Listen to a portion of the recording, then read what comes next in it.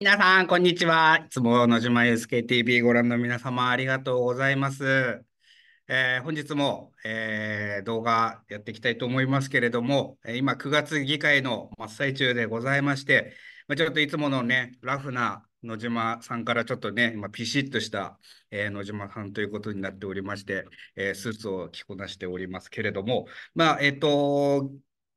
議会開会しまして、えー、共産党としましては、あのー、議案質疑というところにね、あの、樺沢議洋平議員が、えー、立ちまして、えー、ちょうど昨日ですかね、えー、質問の方に登壇いたしまして、まあ、そんな中ですね、まあ、様々議案の質問をしましたけれども、今日の朝日新聞にですかね、あの、マイナンバーカードについての、質問が取り上げられておりまして、えー、千葉市の、あのー、マイナーカードの紛失状況はどうなんだっていうようなね、質問でですね、まあ、なんと、えー、紛失が1184件あるっていうようなことがね、えー、報道に載りました。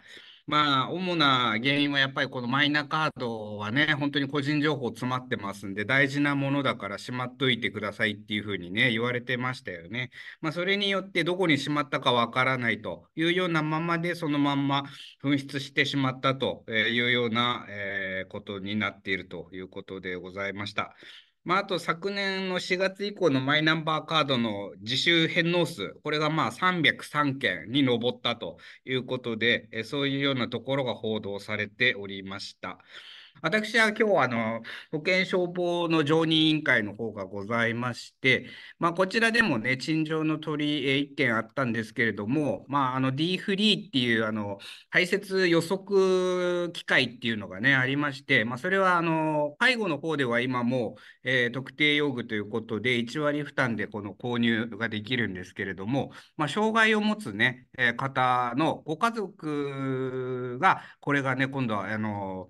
日常用具、生活用具、給付の種目の中に入れてほしいというような陳情だったんですけれども、まあ、私からはやはりこのご家族の方ね、子供あの重度の障害を持つ子供、お子さんをお持ちの方から、まあ、この排泄予測用具をつけたことで、まあ、子供とのね、本当に子供がこう、今まで出してたトイレのサインっていうものがなかなか気づくことができなかったんですけど、まあ、それがね、この機械を通して分かるようになったおかげで、保護者と子供のえー、信頼関係がさらに深まったっていうようなね、事例もあったというようなこともありましたんで、まあ、市側は、あの、まあ、他の委員もありましたけれど、まだまだ事例が足りないというようなとこで、様々ね、いろいろな福祉用具ありますけれども、まあ、その中からこの一つだけをすぐにね、えー、この日常生活用具に入れるのはいかがなものかというようなことで、今回は、えー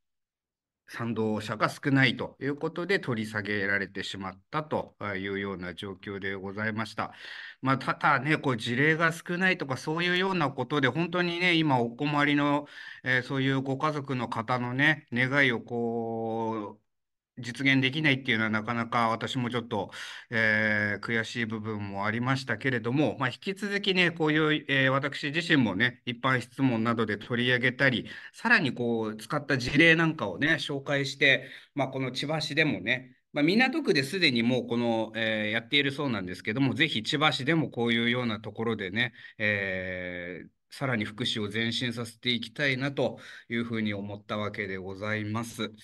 はい。というところでございました。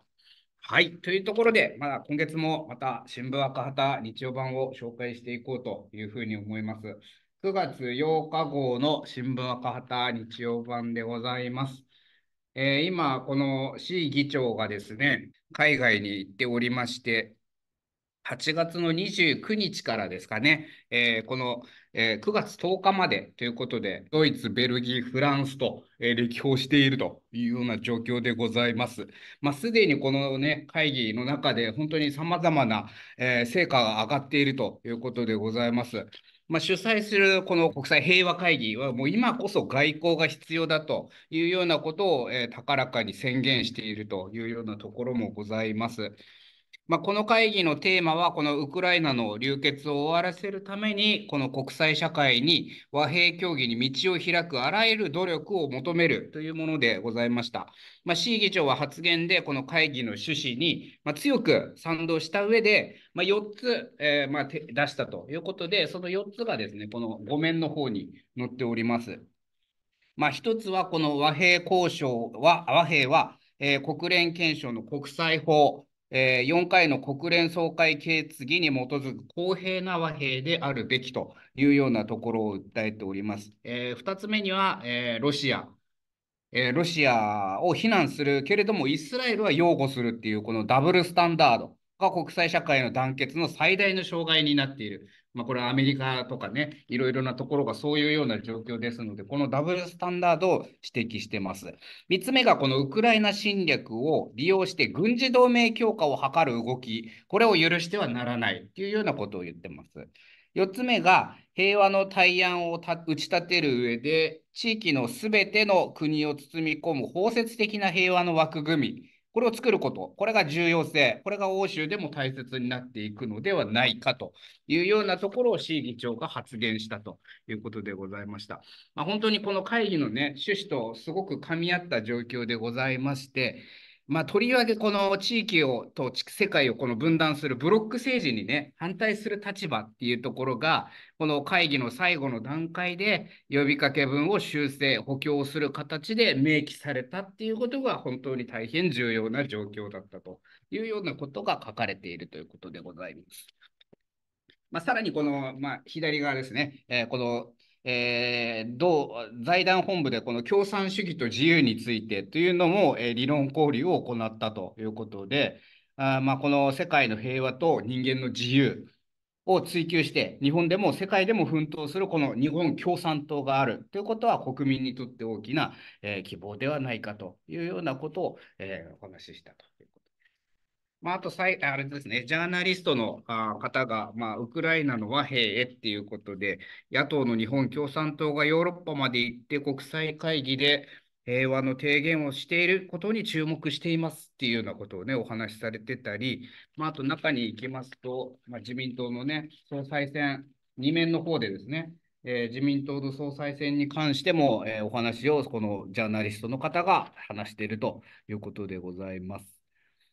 まあ、今、自民党の総裁選の、えー、戦争になったらどうするかとか、まあ、軍備増強が前提の議論ばっかりで、まあ、外交でどうやって戦争を回避するかっていうことが全く抜けてしまっているよということですね。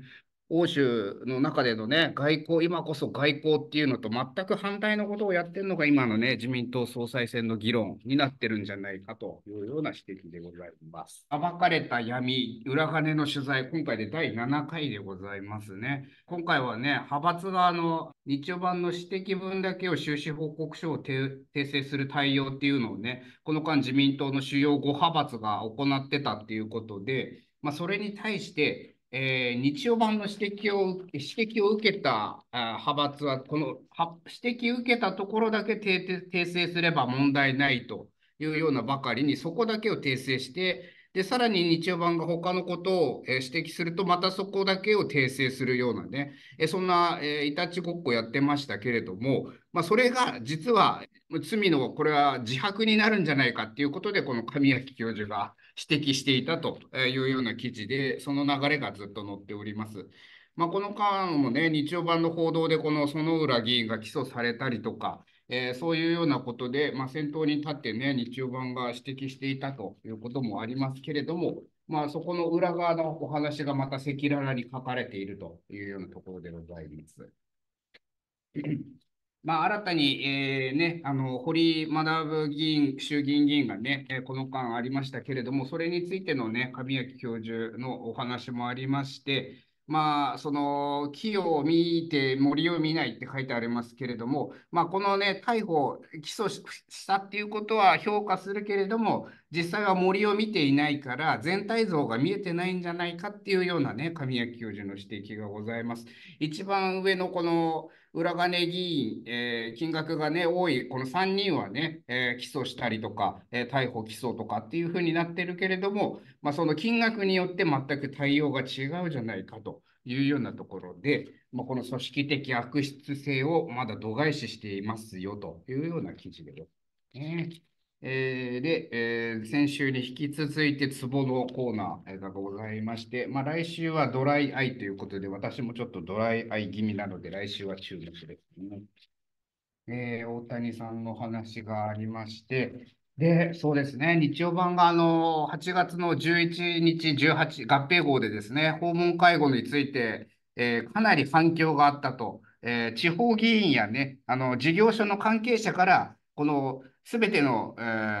ー、自治体の今の状況をね、あの教えてくれっていうような問い合わせがあったということで、まあ、地区ごとの今回、この、えー、訪問介護事業所の数がね、0か、残り1かっていうような、えー、全体像が載っているというようなところでございます。まあ、北海道がもうね、ちょっと圧倒的に多いんですけれども、まあ、千葉県でも4、4、4、4町の、えー、ところが、まあ、芝山町なんかはゼロっていうことで、もう本当に悠々しき状態ですね。ゼロだと訪問介護がもう受けられない、まあ、っていうことになるんですかね。自治体をまたいでっていうようなことになっちゃったり、えー、本当大変な状況になります。まあ、千葉市でね、今回私の一般質問でこの介護、訪問介護について質問いたしますけれども、まあ、ぜひご興味のある方は、えー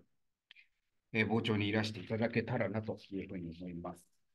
えー、見開きは、えー、プラスチック汚染ということで、知らないうちに人体に蓄積していますよというような恐ろしい記事でございますね。まあ、本当にプラスチックが、まあ、どんどん小さくなるほど、このさお魚がまず食べて、そのお魚を食べて人間は口の中に入っていってますよというようなことが書かれております。まあ、その最初の段階、お魚がまず食べる前には、えー、こういう大きいようなね、えー、プラスチックがあって、そこが細かくなって魚介類が取り込むと。いうようなことだったり、こっちにあのビニール袋だったり、タイヤとかそういうようなことから、えー、紫外線によって劣化して、えー、細かくなって、やっぱりそれをお魚が食べるということで、最終的に人体に取り込まれてしまうというようなことが指摘されております。まあ、千葉市ではですね、このプラスチックの問題はね、あのゴミの問題としては、えー、なかなか遅れている、他の行政区で、ね、遅れているというような状況でございます。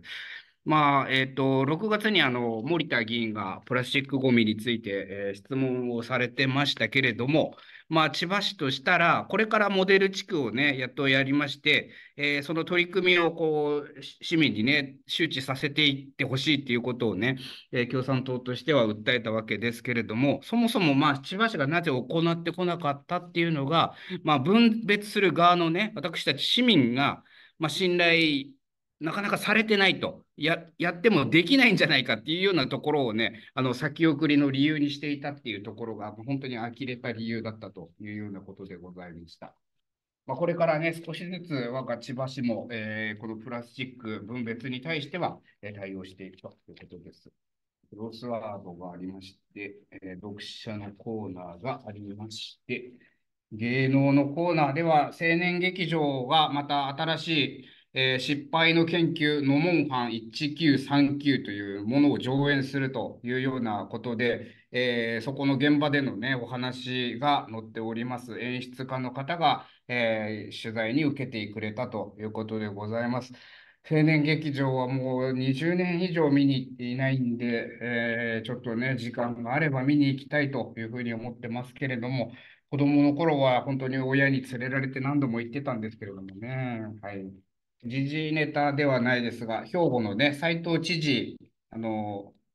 についてのまとめが、この間でね、起こっていたようなことが、えー、まとまって載っております。これまでの経緯だったりとかね、まあ、日本共産党の県議団は、まあ、辞職を求めてずっとね、おりますけれども、まあ、そもそもが、まあ、斉藤知事は、まあ、総務省出身でということで、まあ、えー、3年前の7月かに自民党が担ぎ出して推薦、維新が相乗りとえー、当選後は共産党以外すべての党会派が斉藤知事を支えるオール与党体制となっていたというようなところを、えー、皆さん忘れないでいただきたいというふうに思います。すべての党会派が斉藤知事を支えていたということですね。まあ、今後、不信任決議案が可決されて、議会が解散となったときにはね、そういうようなところもしっかりと、